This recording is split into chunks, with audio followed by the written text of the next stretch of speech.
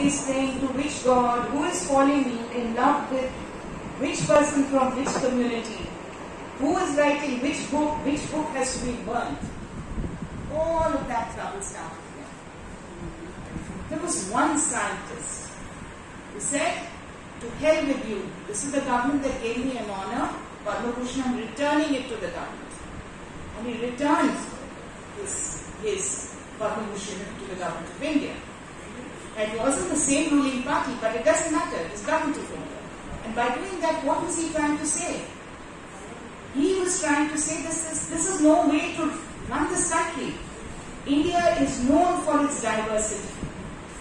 And diversity is its biggest strength.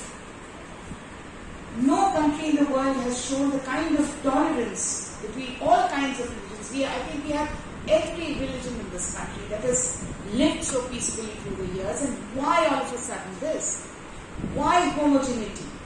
And as a biologist, he says that if a society has to progress, then it is biology shows us that evolution happens when there is diversity. But when there is homogeneity, then that causes extinction. And we have to learn from this. So in order to make his point, he put in all his, whatever he could.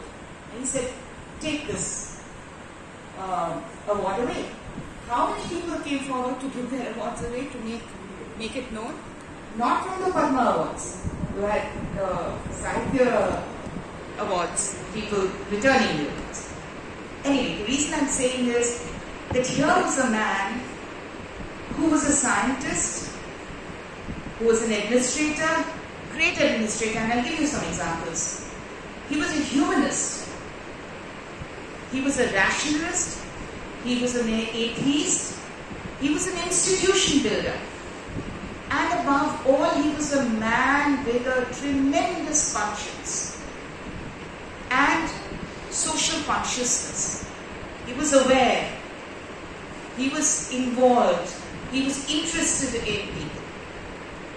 Usually, what do we have in mind? When we talk about a scientist, we think of somebody with long hair, couldn't care less what kind of clothes he wears, working in a uh, ivory tower, doesn't ever look out of his window also, is only concerned with the science and the experiments that he's doing. That's the normal thing that you think of when you think of a scientist. But here was a person who was equally concerned about everything, whether it was science,